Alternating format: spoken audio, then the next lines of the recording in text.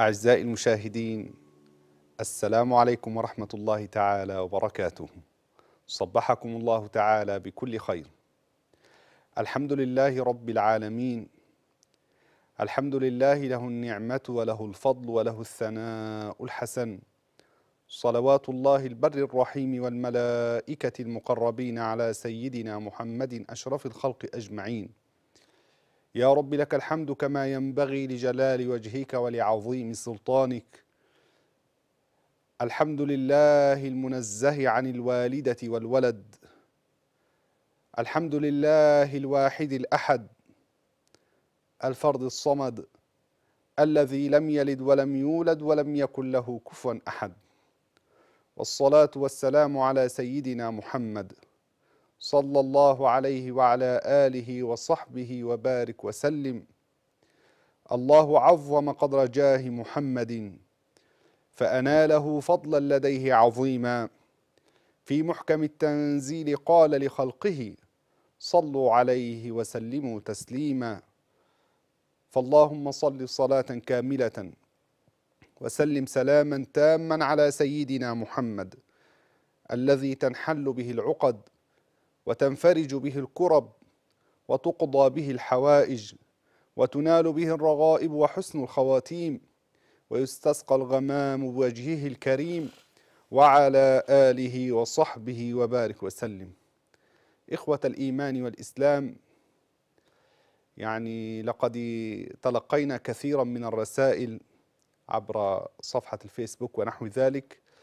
أو الأسئلة التي تأتي عبر الهاتف ونحو ذلك كثير منها متعلق بالمشاكل الزوجية. الزوج مع زوجته والزوجة مع حماتها إلى غير ذلك. فأحببنا أن نقدم في هذه الحلقة وهذه الحلقة يعني ما قدمناه من حلقات في مجالس سابقة من الإحسان والصبر وإلى كل الفضائل التي ذكرناها الإنسان إذا تحلى بها وإذا تحلى بما ذكرنا من خلق حسن من الأخلاق الحسنة والإحسان والصبر وحفظ اللسان وطاعة الله ولين الجانب وخفض الجناح والتواضع إلى غير ذلك مما ذكرناه إذا التزمنا بذلك كله فإنه يعطينا نتيجة نحن في حاجة إليها وهي حسن المعاملة بين الزوج وزوجته بين بين الناس جميعا. فلذلك أحببنا أن تكون هذه الحلقة بعنوان أو يكون هذا المجلس كما تعودنا من مجالس الخيرات يكون بعنوان النصائح الذهبية في السعادة الزوجية. النصائح الذهبية في السعادة الزوجية. اولا يقول الله تبارك وتعالى في القرآن الكريم ومن آياته أن خلق لكم من أنفسكم أزواجا لتسكنوا إليها وجعل بينكم مودة ورحمة. ومن آياته أن خلق لكم من أنفسكم أزواجا لتسكنوا إليها وجعل بينكم مودة ورحمة. إن في ذلك لآيات لقوم يتفكرون. أيها الأحبة لو تدبرنا لهذه الآية العظيمة وللمعاني المتعلقة بها خلق لكم من أنفسكم. وهذا يعود إلى قول الله تعالى يا أيها الناس اتقوا ربكم الذي خلقكم من نفس واحدة وخلق منها زوجها وبث منهما رجالا كثيرا ونساء واتقوا الله الذي تساءلون به والأرحام إن الله كان عليكم رقيبا. يا أيها الناس اتقوا ربكم الذي خلقكم من نفس واحدة وهي نفس آدم عليه السلام. وخلق منها زوجها أي وخلق آدم من وخلق حواء من آدم عليه السلام. فلو تأملنا ونظرنا إلى هذه الآية ومن آياته أن خلق لكم من أنفسكم أزواجا لتسكنوا إليها وجعل بينكم مودة ورحمة. يبقى سكن مودة رحمة.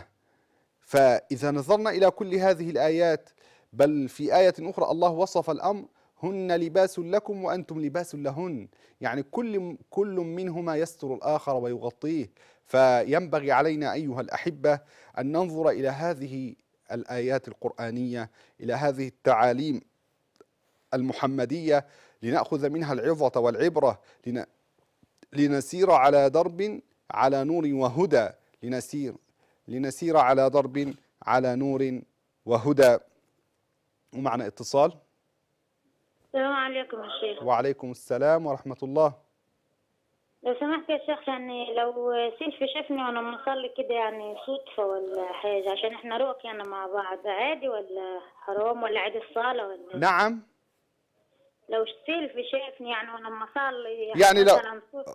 رجل شافك وأنت؟ بتصلي. سيلف أيوه يعني. إحنا لو- في البيت يعني اخو جوز. طالما ستر العورة لا يب- لا لا لا تبطل الصلاة. الصلاة ما صحيحة. تبطلش ما تبطلش يعني يا شيخ. لا طالما العورة يعني مستورة لا تبطل الصلاة. ماشي يا شيخ. بارك. الله فيك.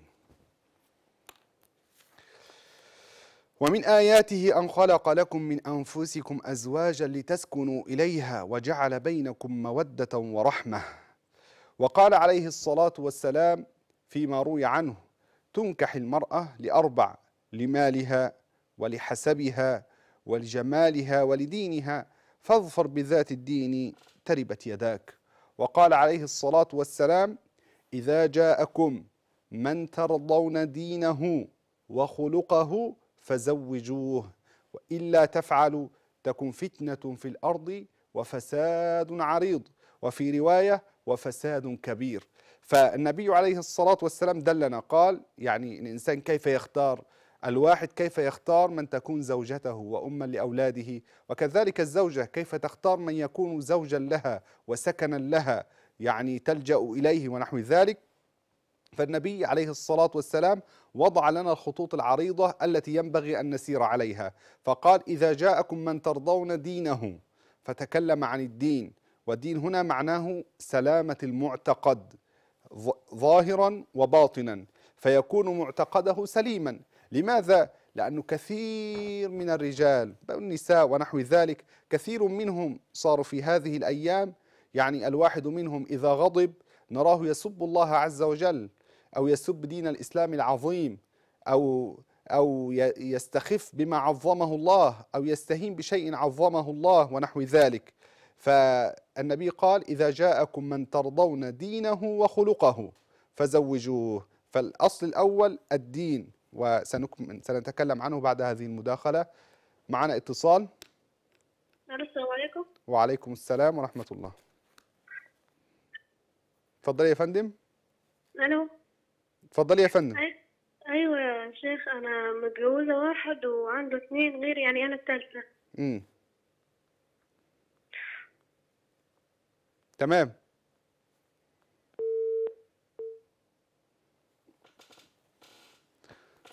طيب عودة الاتصال بنا حضرتك.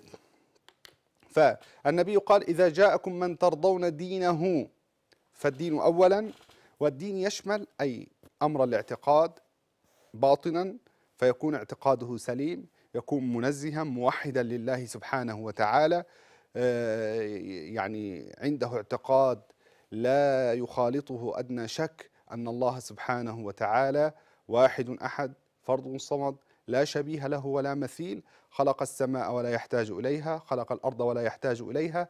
خلق السماء وجعلها مسكنا للملائكة. خلق الأرض وجعلها مسكنا للبشر وغيرهم. خلق العرش لا ليجلس عليه ولكن خلق العرش إظهارا لقدرته ولم يتخذه مكانا لذاته. فربنا فربنا سبحانه وتعالى يعني لا يحويه مكان ولا يجري عليه زمان لأنه ليس جسما سبحانه وتعالى. لا يسكن سماء لا يسكن أرضا لا يحل مكانا من من الأمكنة. ليس كالهواء ليس كالهواء منتشر في كل مكان بل ربنا سبحانه وتعالى ليس كمثله شيء. مهما تصورت ببالك فالله لا يشبه ذلك. الله لا يشبه ما نتخيل وما نتصور سبحانه وتعالى لأنه الإله الخالق العظيم سبحانه وتعالى. معنا اتصال. ألو؟ ألو السلام عليكم. وعليكم السلام ورحمة الله. إزيك يا شيخ أحمد؟ أهلا وسهلا. حضرتك أنا معي مراتي آه، كانت آه،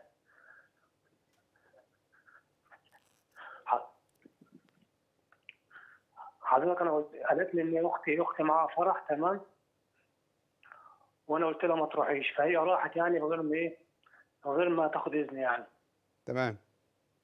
تمام حضرتك هو دي المشكلة يعني وأنا رميت عليها يمين يعني. آه، يعني كان كان يمين طلاق معلق ولا؟ آه آه بس غضب كده كلمة غضب يعني حضرتك. طيب تاخدها وتروح إما دار الإفتاء أو أقرب لجنة فتوى تابعة للأزهر تعرض عليهم المشكلة أنت وهي وتحكي الظروف والملابسات وتحكي كل شيء وإن شاء الله تجد من يفيدك في أمر الطلاق لأنه أمر الطلاق ليس امرا سهلا فالإنسان ينتبه. الإنسان عليه أن يحفظ لسانه. شكرا. وسنتطرق إلى ذلك إن شاء الله في مسألة الطلاق أمر الطلاق. يعني صار كثير من الناس يتساهلون في هذا الأمر. ينبغي أن ننتبه. فالنبي قال إذا جاءكم من ترضون دينه وخلقه فزوجوه. فالأمر الأول سلامة الدين سلامة المعتقد. لأنه إذا الإيمان بالله سبحانه وتعالى والإيمان بملائكته وكتبه ورسله واليوم الآخر والإيمان بالقدر خيره وشره كل ذلك متعلق بأمر الإيمان. فإذا صلح هذا الأمر بالداخل ظهر يعني أثره ظهر على الحو... على الخو... على ال... على الجوارح الظاهرة. فيؤدي ما أمره الله ويجتنب ما نهاه الله عنه سبحانه وتعالى. فالإنسان منا عليه أن يتقي الله ومعنى يتقي الله يعني يؤدي الواجبات ويجتنب المحرمات إذا جاءكم من ترضون دينه. الأساس الثاني الخلق قال وخلقه فزوجوه. فالخلق الحسن أمره عظيم الخلق الحسن أمر أمره عظيم جدا لذلك النبي عليه الصلاة والسلام أخبرنا فقال يعني كما. كما روي عنه في الحديث يعني لا يوجد شيء يعني بعد الإيمان أثقل في ميزان العبد يوم القيامة من خلق حسن وأخبر عليه الصلاة والسلام أن أقربكم مني مجلسا يوم القيامة أحاسنكم أخلاقا وقال عليه الصلاة والسلام إن الرجل ليبلغ بحسن خلقه درجة الصائم القائم.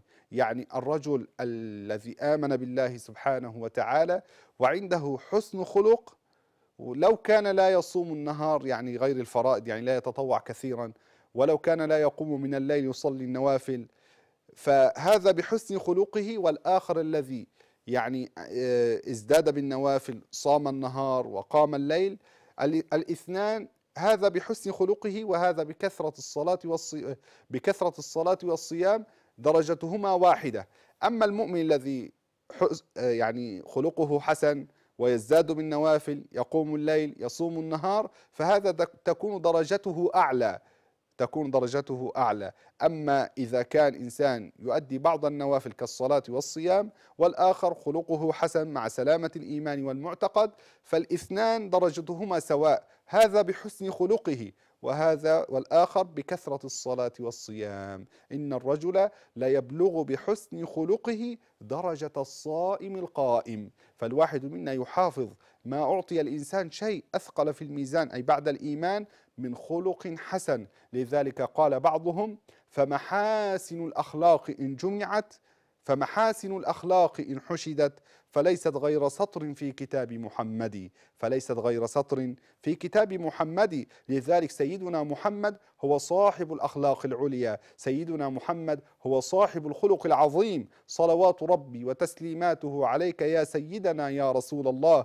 هو الذي أخبرنا فقال خيركم خيركم لأهله. وقال وأنا خيركم لأهلي. أي من خير المسلمين الذي يعامل أهله والأهل هنا المقصود بها الزوجة أي الذي يعامل زوجته معاملة حسنة معاملة طيبة خيركم خيركم لأهله وأنا خيركم لأهلي. فالنبي عليه الصلاة والسلام هو القائد والمعلم صلوات ربي وتسليماته عليه. فلقد سئلت السيدة عائشة رضي الله عنها لما سئلت كيف كان الرسول في أهل يعني لما يكون في بيته فقالت كان يكون في مهنة أهله كان يكون في خدمة أهله فكان عليه الصلاة والسلام كان يكنس بيته وكان يخصف نعله إذا النعل إذا انقطع هو كان يصلحه بيديه صلى الله عليه وسلم. بل كان عليه الصلاة والسلام كان يقوم هو بنفسه ويحلب شاته. يعني وحلب الشاة ليس بالأمر الصعب بل الواحد يعني الامرأة تستطيع وهي تتحدث وتتكلم تستطيع أن تحلب شاتها. ولكن النبي عليه الصلاة والسلام ما كان يكلف زوجاته هذا الأمر. ما كان يكلف زوجاته هذا الأمر السهل الخفيف كان هو يقوم بنفسه. فالمرأة إذا قامت على خدمة بيتها وقامت على خدمة زوجها وأولادها وخدمة أهل زوجها فهي ينبغي عليها أن تستحضر النية الصالحة. ينبغي عليها أن تستحضر النية الصالحة لتثاب على هذا الأمر فإن لها بذلك الأجر العظيم ولها الثواب الجزيل. إن هي أحسنت إن هي أحسنت وأخلصت نيتها لله تبارك وتعالى فيكون لها بذلك الأجر والثواب عند الله. كذلك الأم إذا خدمت زوجها إذا خدمت أولادها. هي ليست خادمة عند أولادها بل هي إذا قامت على خدمتهم فهي تحسن إليهم. وهذا هذا الأمر من باب وكل كلكم راع وكلكم مسؤول عن رعيته. فالرجل راع في بيته ومسؤول عن رعيته ومسؤوليته هنا تكون بالنفقة والتربية الصالحة وتنشئة الأولاد تنشئة صالحة وتربيتهم تربية صالحة كما قال الله تعالى في القرآن الكريم يا أيها الذين آمنوا قوا أنفسكم وأهليكم نارا ورد في تفسيرها عن سيدنا علي رضي الله عنه أنه قال أي قوا أنفسكم وأهليكم نارا أي علموا أنفسكم وأهليكم الخير. علموهم ما يجب علموهم ما ينفع. لذلك أيها الأحبة الزوج إذا عرف ما له من حقوق والزوجة إذا عرفت ما لها من حقوق وما عليها من واجبات يعيش كل منهما يعني في هناء وسعادة في هناء وسعادة. لذلك الخلق الحسن مهم جدا مهم جدا. لماذا؟ لأن الأمر إذا قام بين الزوجين على الأخلاق الحسنة هو يحسن إليها وهي تحسن إليه. هو يحسن إليها وهي تحسن إليه. هي تطيعه. يعني كما ورد في الحديث خير النساء من إذا نظرت إليها سرتك. يعني إذا نظر إليها سرته وإذا أمرها تطيعه. فيما لا معصية فيه فيما لا معصية فيه. ولننتبه أيها الأحبة المرأة نعم تطيع زوجها ولكن تطيعه في طاعة الله عز وجل. فإذا أمرها بمعصية الله مثلا كان أمرها بخلع الحجاب مثلا حتى تذهب إلى حفلة ونحو ذلك. لا هذا لا ينبغي. أو إذا أردت أن تذهب إلى عرس فأمرها أن تخلع حجابها. هنا لا تطيعه. لا تقول زوجي أنا أسمع كلامه في هذا. لا في هذا لا تسمع كلامه ولا ولا حتى كلام أبيها ولا نحو ذلك. لماذا؟ لأن ذلك في معصية الله. والنبي عليه الصلاة والسلام نبهنا فقال لا طاعة لمخلوق في معصية الخالق لا طاعة لمخلوق في معصية الخالق. فالشيء الحرام هي لا تطيعه فيه. مثلا كما يفعل كثير من الناس خاصة في ليلة رأس السنة ماذا يفعلون بعض الناس والعياذ بالله تعالى؟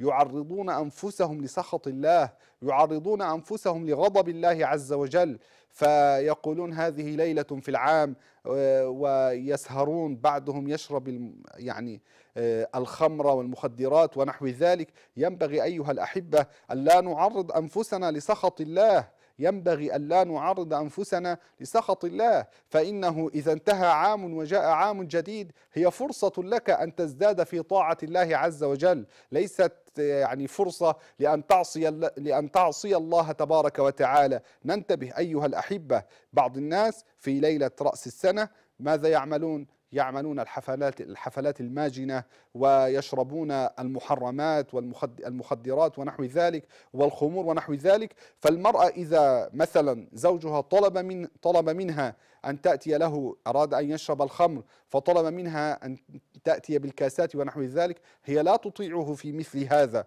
لأن ذلك إعانة على المعصية والرضا بالمعصية معصية والإعانة على المعصية معصية. فالإنسان ينتبه الواحد ينتبه. فكل ذلك كيف يتبين لنا وكيف يظهر لنا؟ يظهر لنا بالعلم.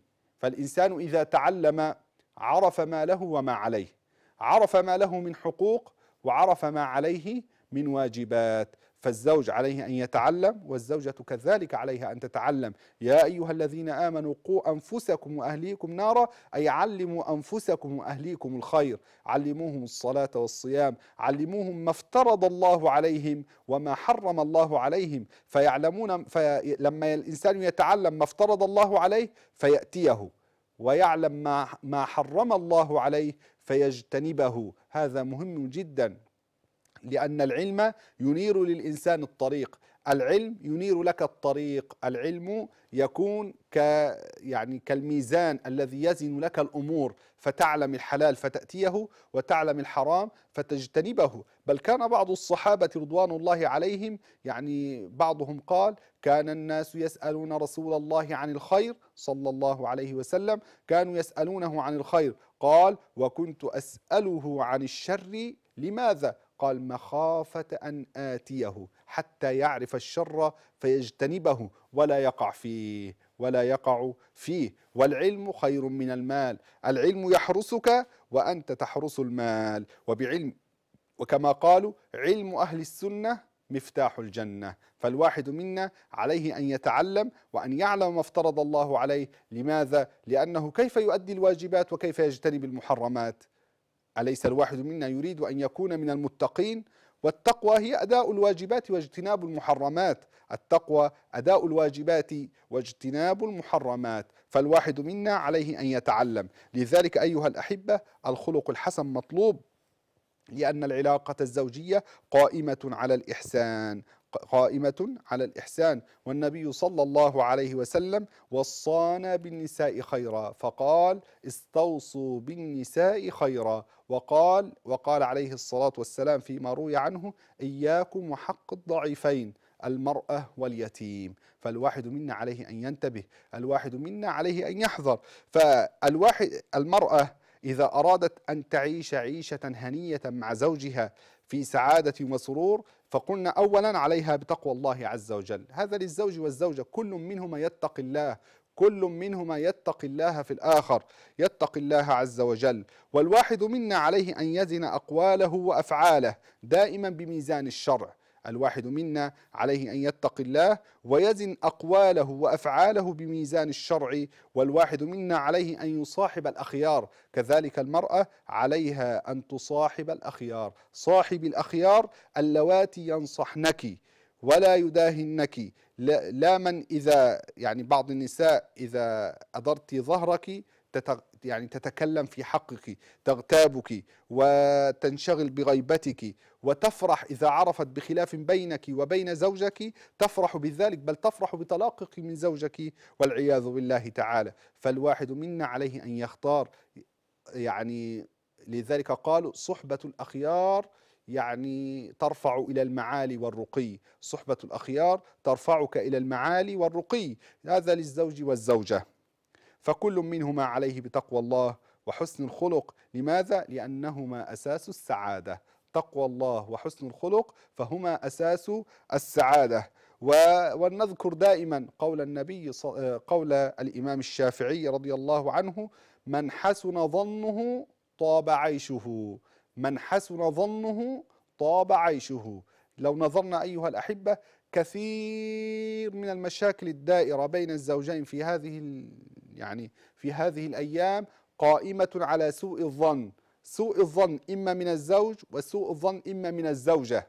سوء الظن إما من الزوج وسوء الظن إما من الزوجة. بل نجد أن بعضهم والعياذ بالله تعالى يعني كما تأتينا الرسائل ونحو ذلك هذا ماذا يعمل؟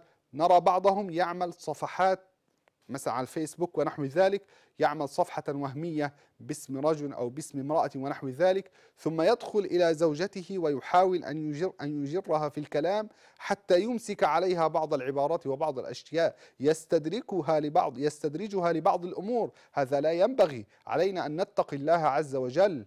يعني وبعض الناس ماذا يفعلن؟ يعني يضع بعض النساء تضع بعض المسجلات لزوجها في بيتها أو بعضهم من كثرة مشاهدة الأفلام وما يحصل فيها آه، الأمر ليس هكذا أيها الأحبة. يعني ديننا نأخذ يعني تعاليمنا عاداتنا تقاليد تقاليدنا نأخذها من شريعتنا لا من الأفلام والمسلسلات التي خربت كثيرا من البيوت. الإعلام له دور الإعلام له دور كبير. كثير من المسلسلات كانت سببا في خراب البيوت. كانت سببا في في يعني في حصول أمور بين الزوج والزوجة مما لا يحبها الله سبحانه وتعالى ولا يرضاها ولا يحبها رسول الله ولا يرضاها صلى الله عليه وسلم. فعاداتنا نحن نستقيها من الشرع الشريف قائمة يعني عادات السادات سادات العادات. هذه هذه هي التي ينبغي أن نسير عليها. هذه العادات عادات الصالحين عادات الأولياء عادات الكرماء عادات أهل الفضل. هذه التي ينبغي أن نسير عليها. عادات ساداتنا الأنبياء.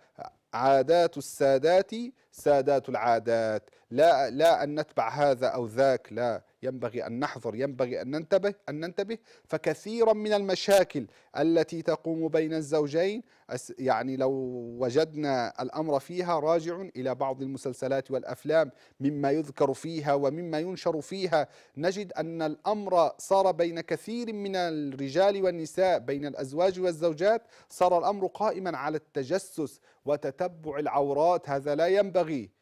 الأمر ليس هكذا. لا ينبغي أن يكون الأمر قائم على تتبع العورات وعلى التجسس. الله نهانا عن ذلك. قال ولا تجسسوا ولا تجسسوا.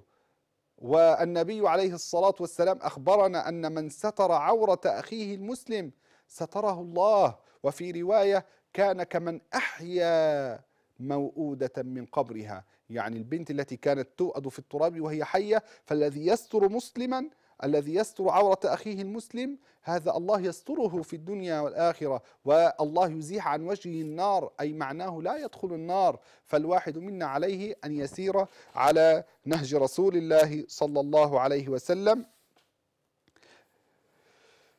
كذلك أيضا الزوجة نقول للزوجة اتهمي نفسك وخالفيها وقدمي رأيه على رأيك. يعني المعاملة بين الزوجين لا تكون بالند. كثير من الأزواج والزوجات المعاملة بينهم صارت بالندية. أنا وأنت. لا الأمر ليس هكذا. الأمر ليس هكذا. كل منا إذا عرف ما له وما عليه فالأمر يكون سهلا. الأمر يكون هينا. الأمر يكون سلسا. فكل منا عليه أن يتقي الله عز وجل. عليه كذلك أيضا علينا أن نظن الخير ببعضنا ولا نسيء الظن ببعضنا وكذلك المرأة عليها أن تستر عورة زوجها وكذلك الرجل عليه أن يستر عورة زوجته ولا يفضح أمرهم بين الناس لماذا؟ لأن المرأة إذا فعلت ذلك تكبر بنظر زوجها تكبر بنظر زوجها وإلا إذا فضحت عورته بين الناس وفضحت أمره بين الناس فإنها تصير ممقوتة بنظره وستر العورات كما قلنا له أجر كبير عند الله سبحانه وتعالى. كذلك من الأمور التي ينبغي أن تنتبه لها الزوجة ألا تكثر الصراخ في بيته وأمام أهله وجيرانه. كثير من النساء يعني إذا نظرت دائما تصرخ دائما بالصوت المرتفع دائما بالصوت العالي. لا علينا يعني مرة امرأة لما أوصت ابنتها يعني ماذا قالت لها؟ قالت يعني عامليه كأنك في حضرة ملك، كأنك في حضرة رئيس، كأنك في حضرة مسؤول، عامليه إذا كان أمامك شخ- شخص مسؤول ذا هيبة ذا منصب ونحو ذلك، أنت كيف تعامليه؟ هل ترفعي صوتك عليه؟ لا الأمر ليس هكذا، فعامليه كأنك في حضرة ملك، هكذا أوصى بعض الصالحين إحدى مريداته قال لها عامليه كأنك في حضرة ملك من الملوك. و وإذا المرأة إذا عاملت زوجها بهذا الأمر إذا عاملت زوجها بهذه آه، يعني بهذا الأمر هو كذلك يعني يحلم عليها يصبر عليها يعاملها معاملة أحسن من التي تعامله هي بها.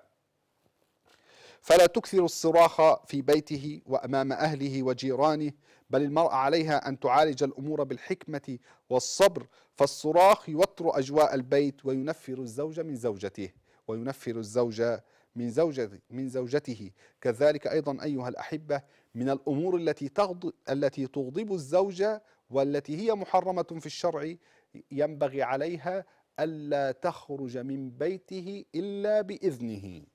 ينبغي عليها ألا تخرج من بيته إلا بإذنه أن يأذن لها.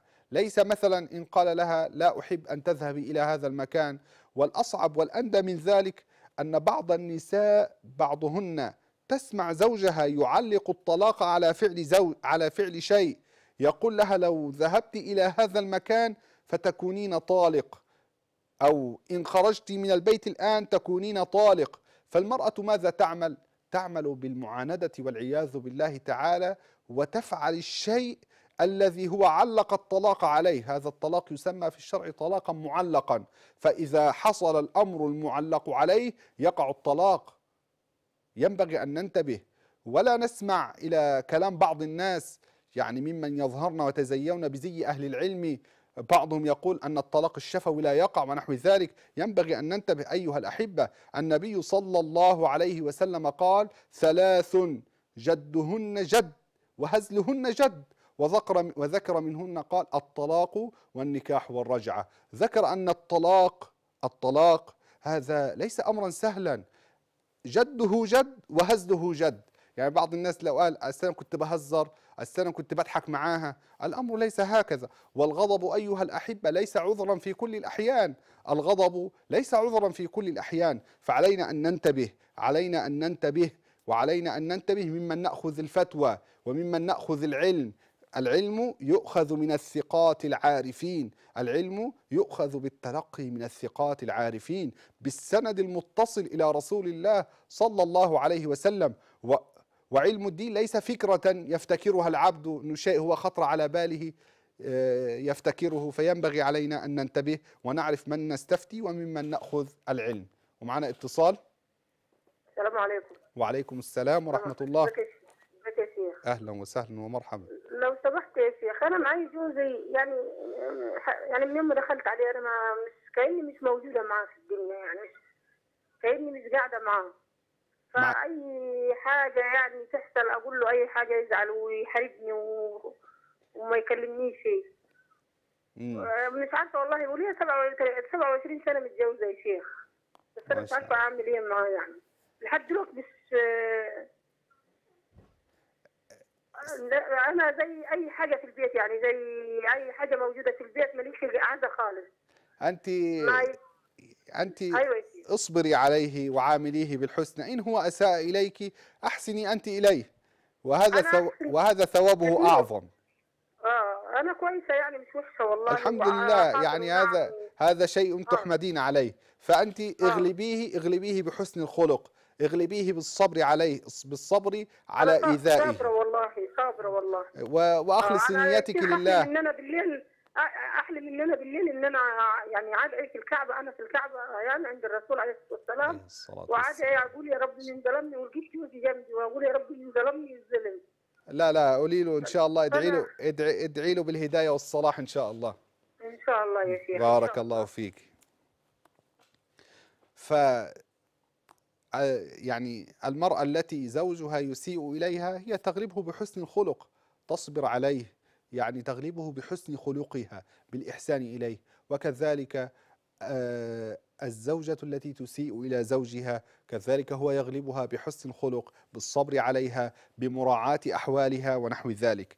فأيضا من فينبغي أيها الأحبة كما ذكرنا أنه علينا أن ننتبه علينا أن نعرف ممن نأخذ ديننا. وكذلك الفتوى ليس أي إنسان أهل للفتوى ليس أي إنسان أهلا للفتوى. فالإنسان ينبغي أن يحذر ينبغي أن ينتبه ينبغي أن ين أن ينتبه جيدا وأن يحذر جيدا فالأمر ليس علم الدين ليس فكرة يفتكرها الشخص إنما هناك أسس ومقومات.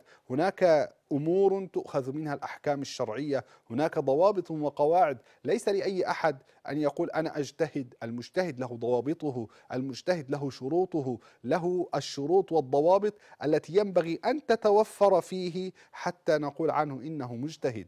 ليس الأمر هكذا. فينبغي علينا أيها الأحبة أن نحذر وأمر الطلاق هذا الأمر يعني ينبغي الحذر منه ينبغي الانتباه من ينبغي الانتباه له. كثير من الناس صار هذا الأمر على ألسنتهم يعني وكأنه شربة ماء. لا ينبغي أن ننتبه ينبغي أن نحذر. لماذا؟ لأن حتى لا تعيش بين يعني تعيش مع زوجتك في الحرام وأنت لا تدري. ينبغي أن نحذر أيها الأحبة ينبغي أن نحذر. فعلينا أن ننتبه. فكذلك قلنا كذلك من النصائح التي ينبغي أن نوجهها لكل من الزوج والزوجة وخطابنا موجه خاصة للزوجة آه، لأنها الأساس في البيت ولأن الأمر يقوم عليها ولأنها تتحمل وتصبر. فدائما ننصحها بمثل هذه النصائح وكذلك النصائح موجهة للزوج. فقلنا لا تخرج من بيته إلا بإذنه. لا تخرج من بيته إلا بإذنه والأخطر إن علق الطلاق على فعل شيء كخروجها أو ذهابها إلى مكان معين فينبغي عليها ألا تفعل هذا الأمر حتى لا يقع الطلاق حتى لا يقع الطلاق. ينبغي أن ننتبه. كذلك إذا الزوج مثلا هو لا يحب كذلك لا تدخل بيته من لا يحب دخوله إليه. لا تدخل بيته من لا يحب دخوله إليه. مثلا لأنه من بعض الأشياء التي وردتنا مثلا امرأة خطيب ابنتها فيأتي مثلا إلى البيت والزوج غير موجود وتبقى هي معه الأم تبقى مع هذا مع هذا الشاب.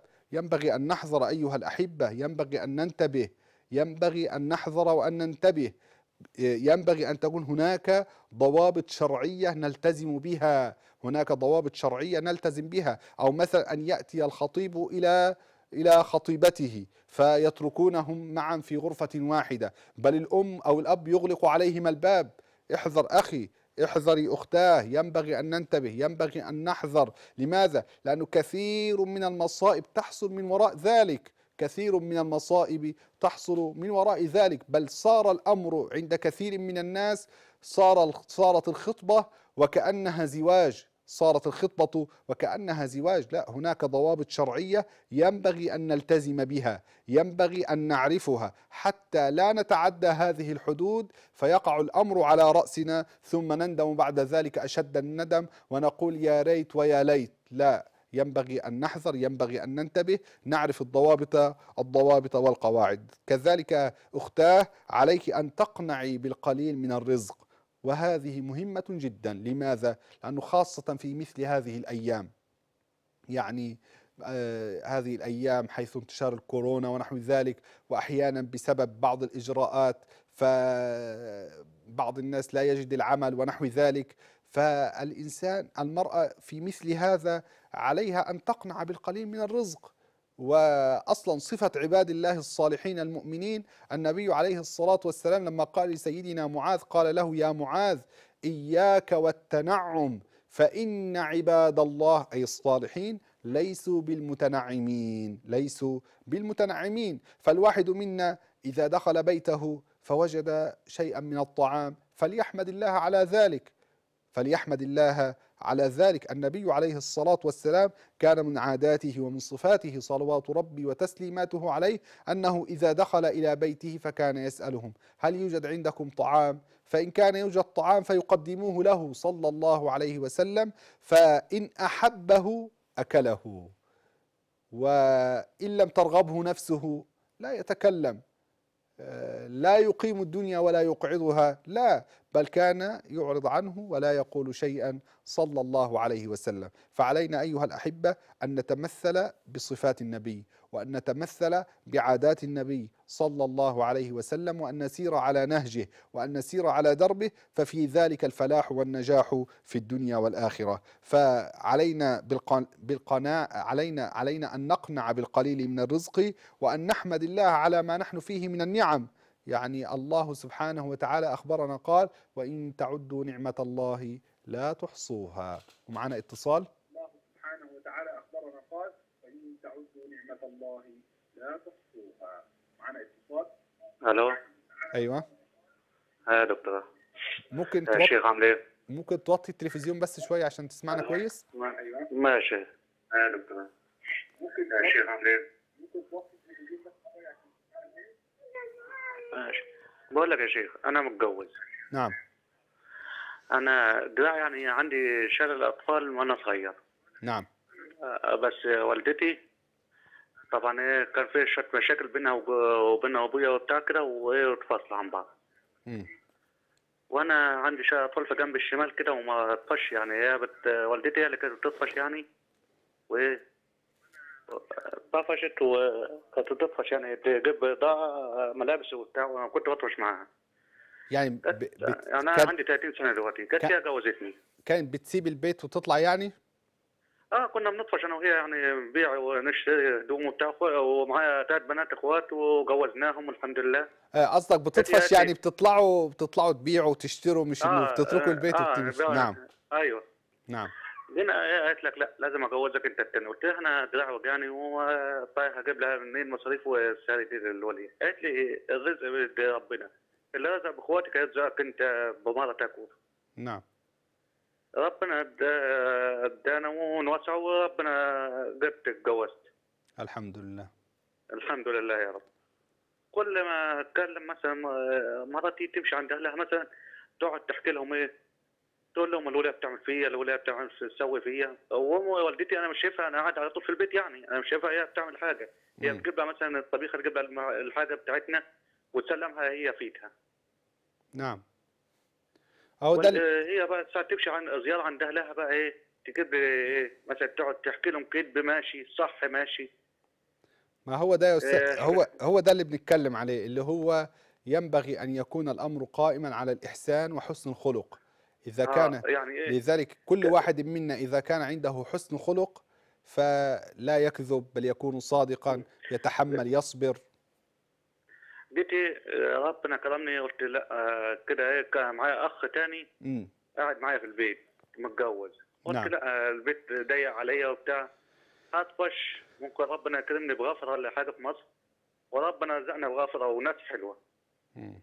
ومشيت يعني ليا سنتين الحمد لله وربنا. رزقني والحمد لله الحمد لله كل. ما مرت مثلا تكلم أهلها يقعد يدعى على والدتي ويقعد يدعى آه، على أخواتي البنات قل إيه، لا أنا ما أنا ما بنزلش إلا فين وفين قبل ما أنزل الفيوم مثلا أنا من الفيوم قل لهم فليتقوا الله عز وجل. آه مش عارف أعمل لها إيه يعني. هم كل ما فز والدتها مثلا امها امها ما جاتهاش لسه الكورونا لدوختي والدته ما مش هتموت. والدته يا والدتي أيوه. والدتي مثلا بتمشيه تقول لي أعمل لك كذا مثلا النهارده أعمل لك كذا كذا. آه، تقول لك لا طيب. هي اللي مسيطرة عليه يعني في الايه طيب المشي والمي خلاص حاضر. إن شاء الله نوجه رسالة حاضر. شكرا. ده يا أخواننا لسه بنتكلم عليه. إذا إحنا نظرنا إلى أمر الشرعي إلى لذلك النبي قال إذا جاءكم من ترضون دينه وخلقه سواء من الزوج أو من الزوجة. الدين والخلق. الدين والخلق. الخلق الحسن. لأنه بالخلق الحسن الخلق الحسن يعمر الديار ويبعد الأشرار. الخلق الحسن يعمر الديار ويبعد الأشرار. وكذلك المرأة عليها ألا تفضي بسر زوجها إلى أحد في الخارج. يعني مثلا هي في بيتها في حياتها ينبغي عليها ألا تخرج ما هو في داخل غرفة نومها وما هو في داخل بيتها تخرجه إلى الخارج حتى ولو كان لأبيها وأمها. بل هذه الأم عليها أن تتقي الله عز وجل الأم التي تأتي إليها ابنتها وتذكر لها ما يحصل في بيتها ونحو ذلك ليس بقصد النصيحة. أحيانا البنت تأتي إلى الأم تستنصحها فالأم هنا تنصحها تبين لها يعني تعلمها كيف تحافظ على بيتها وعلى أهلها وزوجها ولكن لا يعني لا تقويها على زوجها ولا تقويها على أهل زوجها. أم زوجك كأمك. أم زوجك كأمك احسني إليها واصبري عليها وتحمليها لله سبحانه وتعالى. وكذلك الحمات فلتنظر إلى زوجة ابنها على أنها ابنتها على أنها بنت لها. كيف تعامل بنتها؟ فلتعاملها بما بذلك. وال- والأم أم والزوجة زوجة. معنا اتصال ألو. ألو؟ السلام عليكم. وعليكم السلام ورحمة الله. أنا مولانا جوزي زي كده بيقول لي ما تروحيش أي مكان وهو بيمشي الشغل زي كده ما فيش حد يعني ورايا يجيب لي الحاجة دي أو دي فأنا يعني بطلع من غير ما بكون قاعد. مم. مش عارفة إيه يعني. آه، انت عرفيه قولي له إنه في حاجات ضرورية آه، زي مثلا إنه أجيب خضار أجيب كذا بحتاج إن أنا أطلع عشان أجيبها ف وما فيش أي حد تاني يجيبهم لي. فأنا لابد إن أنا أطلع عشان أجيب الحاجة دي وإلا جيبها لي أنت قبل ما تمشي. ما هو بيطنش لما بقول له الحاجة بيقول ماشي ماشي أعملها أعملها ما بيعملهاش آه، أنت بال- بالحسنى وبالصبر آه، تعاملوا مع بعض بالحسنى وبالصبر. يعني وعرفي قولي له إنه مثلا الحاجة دي م- إما طلعتش جبتها ما فيش حد تاني هيجيبها لي لأنه ما عنديش ولد ولا غيره عشان أبعته يجيب لي الحاجة دي. فدايما أنت بالراحة إن شاء الله الأمور تسير. إلى الأحسن إن شاء الله. شكرا. فأيها الأحبة علينا بحسن الخلق فكما قلنا حسن الخلق يعمر الديار ويبعد الأشرار. وكذلك الزوجة نقول لك كفي أذاك عن زوجك وأحسني إليه وتحملي أذاه واصبري معه في الشدة والضيق تعظمين في نظره. ويزيد حبه لك. قال رسول الله صلى الله عليه وسلم إن العبد لا يبلغ بحسن خلقه درجة القائم الصائم. كوني عونا كوني عونا له في أوقات الشدة ولا تكوني حملا ثقيلا عليه. هوني عليه الأحمال ولا تزيديها. إياك أن تعتبري ما يخالف هواك مما يفعله زوجك, زوجك مما هو جائز في الشرع. ولا عيب فيه معاداة لك.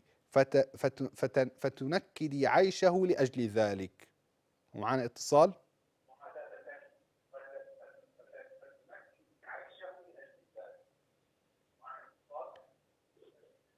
السلام عليكم. وعليكم السلام ورحمة الله. إزيك يا شيخ؟ ممكن بس تقفلي التلفزيون واسمعينا من التليفون. ثانية واحدة. أيوه يا شيخ. نعم. اتفضلي يعني أنا عايزة أقول لك على جزء إنه بيفضل الناس كلها علينا. آه، بيفضل الناس كلها علي أنا و... وعيالي وعلى أي حاجة. مم. في كل حاجة والحمد لله أنا ماشية معاه بما يرضي الله. الحمد لله. بس هو عنده يجيب الحاجة للناس التانية يدي فلوس للناس التانية وأما أطلب منه أنا ما ما فيش. مم. مش عارفة طيب. أعمل معاه إيه. طيب هو يعني أليس يكفيكم النفقة وما تحتاجون إليه من طعام وشراب وكسوة ونحو ذلك؟ هو يجيب يجيب الطعام ويجيب الشراب ويجيب كل حاجة لكن آه، مثلا العيال ما يكفيهمش إلا من عيد للعيد. مثلا يبقى معاه فلوس إنه يفضلها يديها لأي حد تاني مش محتاج وبيته محتاج. طيب. آه، أغلب وقته بره بره البيت. هو يدوب فطار الصبح وبعدين ما يشوفوش إلا 12 واحدة بالليل. سبحان الله. حاضر. خلاص أنا موجه رسالة كمان. آه، معنا اتصال آخر؟